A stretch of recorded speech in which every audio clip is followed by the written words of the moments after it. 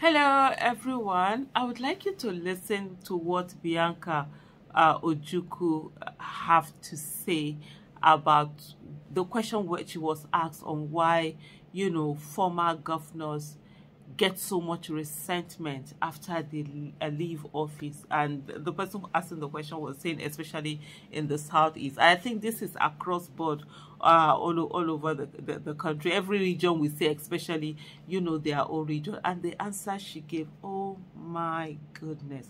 It's just mind-blowing and apt and just describes the situation. She just nailed it and said it as it is without trying to be politically correct or mincing words or not just saying things the way they are. I was just listening to her and taking notes, notes, notes. I had listened to her here. All this one, all filled up, taking notes. I'm like, wow. Just, just watch. You've talked about the challenges pertaining to the trickle down effects of most government programs into the communities or the grassroots. Last question, please. Why do most governors, especially here in the Southeast, encounter a lot of antagonism and vilification once they leave office? Uh, would you prefer a diplomatic answer to, to this question or a straightforward one? Uh, as honest as can be.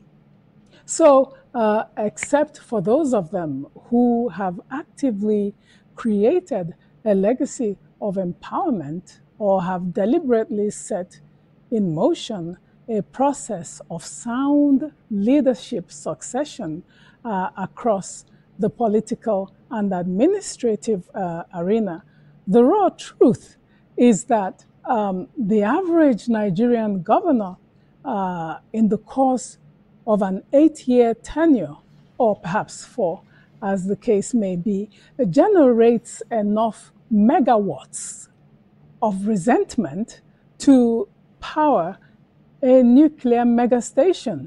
Why do I say this? Uh, they often forget one thing, which is uh, that uh, legacy is not measured by uh, how many kilometers of road or how much infrastructure uh, you have built, but how you made the people who chose you to govern them feel. Um, apart from the usual litany of sins, uh, such as uncompleted projects, um, unfulfilled promises, uh, partiality towards their own particular zone and their tendency to um, import conflict into communities. Um, what is even more telling is uh, their poor ability to manage and to sustain human relationships whilst uh, in office.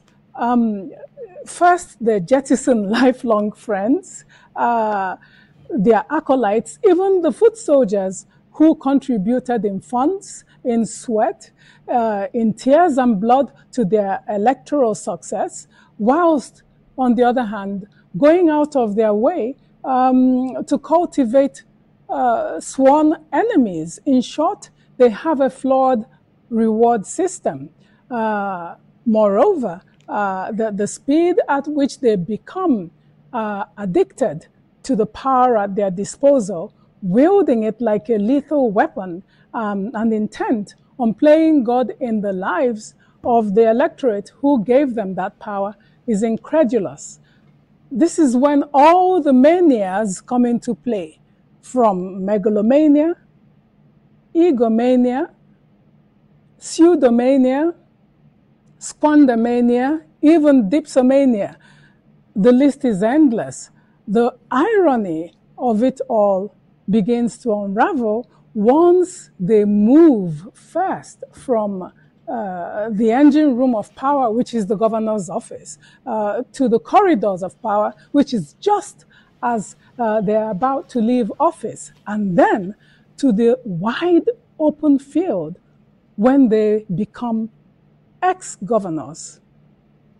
That's when the cold wind blows uh, that's when they look back in search of their old friends, those they avoided, denied access, and uh, disappointed whilst in office.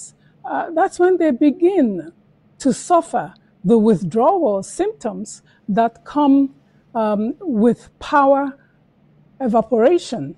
Uh, that's when they fully comprehend uh, the, the term cold turkey, and that this does not necessarily refer to a large bird that is frozen, um, and that even rats will desert a sinking ship.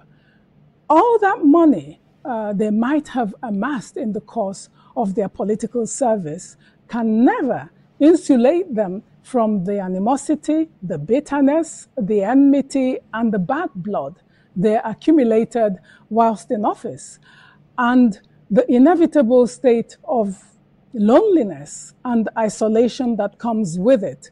And this, sadly, they often realize too little, too late. Wow, wow, wow. Wisdom packed into. I mean, I could just listen to her on and on and on again.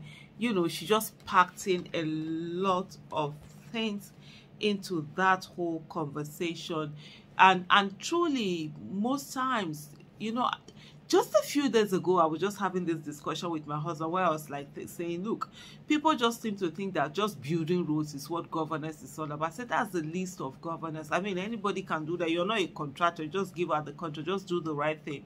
The reason why that even to an extent is being praised is because of the fact that you find out that a lot of people who have been in that position they they eat the money they don't do the work they're supposed to do. But growing the people you know you're talking about human development uh, index these are very critical things where you know people are empowered. People's lives are made to be better. Policies are made that will make uh, people's lives better that will put more money in the hands of the people where there will be increased you know income uh, personal income and, and all of that. And so many things where the lives of the people would be would be better. And so so many things that one needs to do to actually be able to get to that place where you're given you know good governance. But unfortunately what we have uh, we have people who just don't care, who don't know uh, that, like you say, legacy is not measured by how many kilometers of road you've done and all of that. But in terms of that, they don't create a legacy of empowerment. They don't give sound they don't uh, also uh, have sound leadership succession plans. Uh, the average Nigerian governor generates enough megawatts of res resentment uh, to power because of the way that they behave. They became they become dictators. You know that I want to say absolute power corrupts absolutely. You actually see it playing out in Nigerian politicians who are able to get into office, especially those ones who are, governors, the way they behave, the arrogance, and they seem to think that this eight years, it's like 80 years to them until when they are about to go out, like she said, when they leave the engine room and come into the corridor of power before they go to the White Place, before they leave, finally, you know, uh, leave that office, they begin to realize that they actually ended up wasting their eight years creating enmity instead of you know instead of more bonds instead of friendship and you find out that even their old time friends they sort of like discard them and it's at the end they are looking for who is going to be uh, with them. These are people who actually do play God. And she talked about all of those mania that come with megalomania, pseudomania. She mentioned quite a number of those uh, mania where people